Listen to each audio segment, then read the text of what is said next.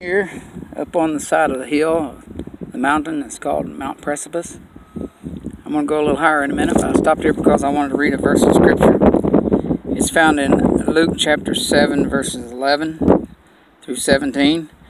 It said, And it came to pass the day after that he went into a city called Nain, and many of his disciples went with him, and much people. Now when he came nigh to the gate of the city, behold, there was a dead man carried out the only son of his mother, and she was a widow, and much people of the city was with her. And when the Lord saw, her, he had compassion on her, and said unto her, Weep not.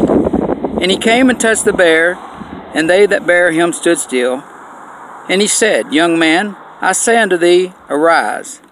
And he that was dead sat up, and began to speak, and he delivered him to his mother.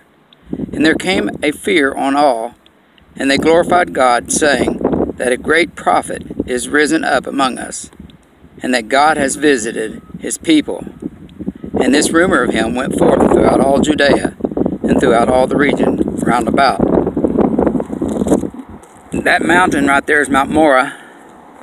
It's where Gideon selected the 300 according to the instructions of God. And in this valley is where he slew the Midianites and the Ishmaelites and the little city of Nain sits over there on the side of the hill. It was a small village. And Jesus came there. Nazareth is behind us. I'm looking straight at the hill. Nazareth is just back behind us over the hill. And I'm here on Mount Precipice. And it's called Mount Precipice because it is believed that this is where the citizens of Nazareth brought Jesus when they were going to cast him over the cliff. I'm going to go a little higher up and read a little bit more here in a minute.